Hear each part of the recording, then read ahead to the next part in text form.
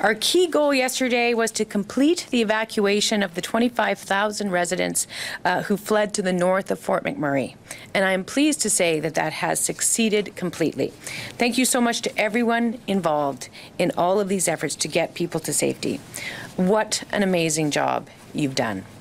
Now, it has been widely remarked, uh, including by myself, about how miraculous it has been to evacuate the entire population of the city and its surrounding facilities in such a short period of time. Unfortunately, we did lose at least two of our fellow citizens during this emergency due to traffic fatalities.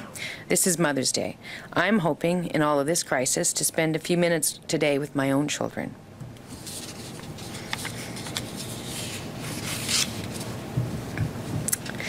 That not all of us can do that is definitely an awful tragedy. So, today, Mother's Day,